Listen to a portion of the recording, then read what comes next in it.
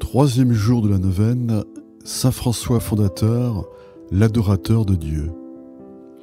Qu'ils sont heureux et bénis ceux qui aiment le Seigneur et font ce qu'il dit lui-même dans l'Évangile. Tu aimeras le Seigneur ton Dieu de tout ton cœur et de toute ton âme, et ton prochain comme toi-même. Aimons donc Dieu et adorons-le avec pureté de cœur et d'esprit, car c'est là ce qu'il cherche par-dessus tout, quand il dit Les vrais adorateurs adoreront le Père en esprit et en vérité. Car tous ceux qui l'adorent doivent l'adorer en esprit et en vérité. Adressons-lui des louanges et des prières jour et nuit en disant Notre Père qui es aux cieux, car il nous faut toujours prier et ne cesser jamais. Demandons la grâce de l'amour, de la prière incessante. Saint François. L'ordre des frères mineurs, fondé par Saint François d'Assise, eut un rôle providentiel dans le renouveau de l'Église de leur temps.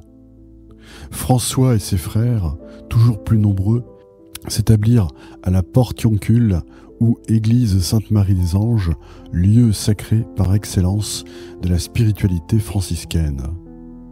Claire aussi, une jeune femme d'Assise, de famille noble, se mit à l'école de François. Ainsi vit le jour le deuxième ordre franciscain, celui des Clarisses, une autre expérience destinée à produire d'insignes fruits de sainteté dans l'Église.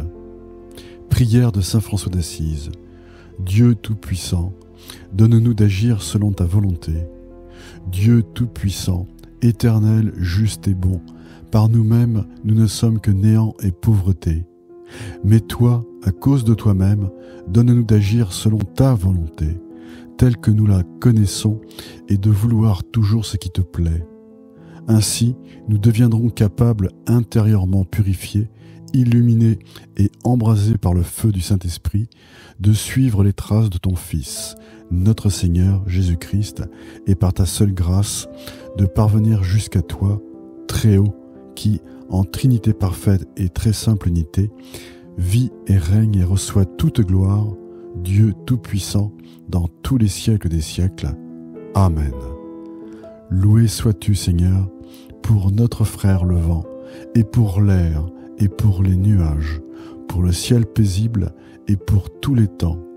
Par eux, tu réconfortes des créatures. Prière quotidienne. Je vous salue Marie, pleine de grâce. Le Seigneur est avec vous.